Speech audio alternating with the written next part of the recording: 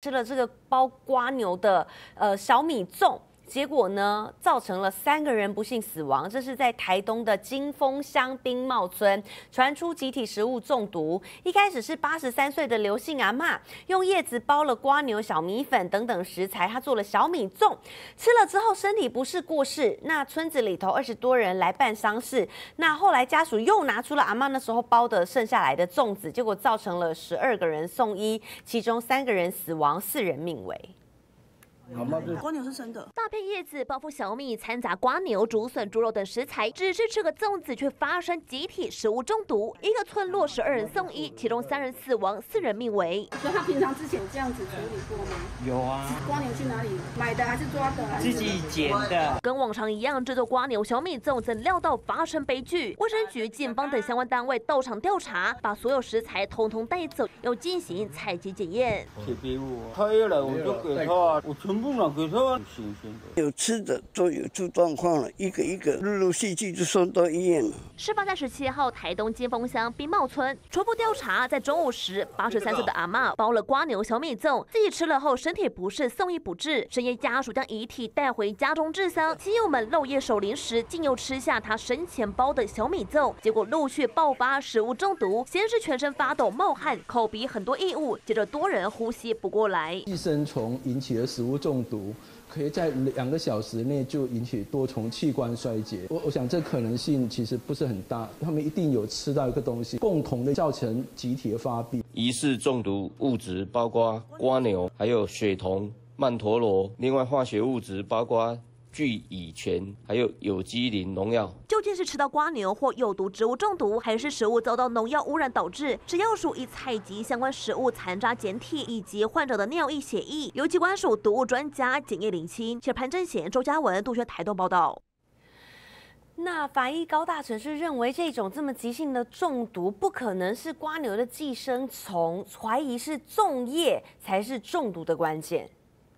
是不是那个叶子有问题，还是说这个叶子跟瓜牛产生化学变化，啊，怎么产生这块有毒物质？啊，怎么甲这种叫敲的？啊，因为是急性中毒敲的，所以大概是毒物的问题，应该是没有错了哈。你那是一般的那个那个慢性中毒了哈，这应该不要定的是。所以我想这个应该也不是寄生虫的问题啊。啊，如果它的中毒是因为农农药这一类，因为农药都含有磷，好，所以我们检查这个大体哦。大概他的眼睛的瞳孔都是缩小的，我们就可以确认，他应该是磷农药中毒的磷呐，好磷农药中毒上侪嘛，农磷嘛，啊那唔是瞳孔的问题，可能一个检查像咱顶盖伫南头有拄到迄个葡萄催芽剂这种感官，也量足少，啊个足无足特殊，所以你不认为它是毒药物，其实它就是毒物，好等于咱的身体里面突然磷大量的升高，啊钾大量升高。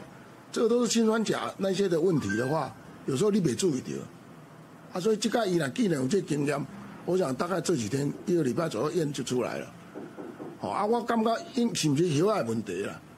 因为严重有当时包这长哦，伊找迄叶啊大大片的，就会使包啊嘛，所以有人无注意，迄叶啊会足毒的，药你要煮过，伊内底所有毒药拢拢造出来嘛，所以你甲吹一个毒药的。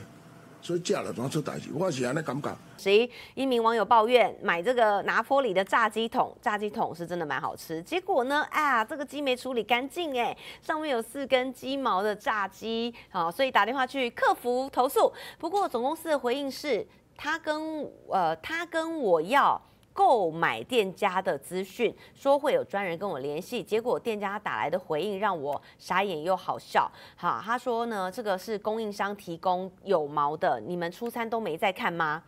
事后拿坡里也紧急发声明致歉，不好意思，啊，这个拿坡里呢出了这个问题啦。不过还好，还好是鸡毛，好处理的问题，应该要赶快的来处理干净。好，另外呢，中秋节烤肉的时候啊，一名女网友发现呢，有人用大卖场的手推车当烤肉架，赶快来看是哪一家卖场的哦，不是离题了。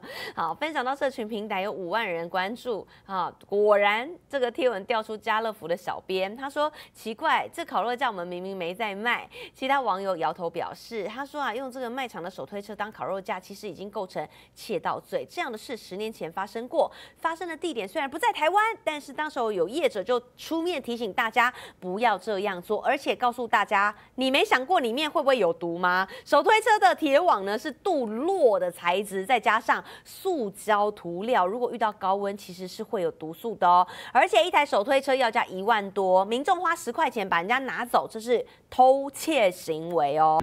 朋友都知道我是很挑剔的，防晒乳我选 Kiss 皇家呵护抗光清爽高防晒凝露，因为它有媲美蓝光神盾的抓藻植萃，保护我在阳光下延缓肌肤老化，维持青春弹力，可以防御工作环境里的三 C 商品各种光源对肌肤的伤害，擦起来清爽不黏腻。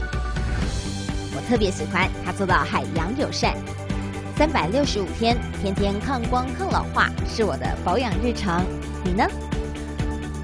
呵护您，呵护全家人，专属你的 KS Royal Care 抗光清爽高防晒凝露。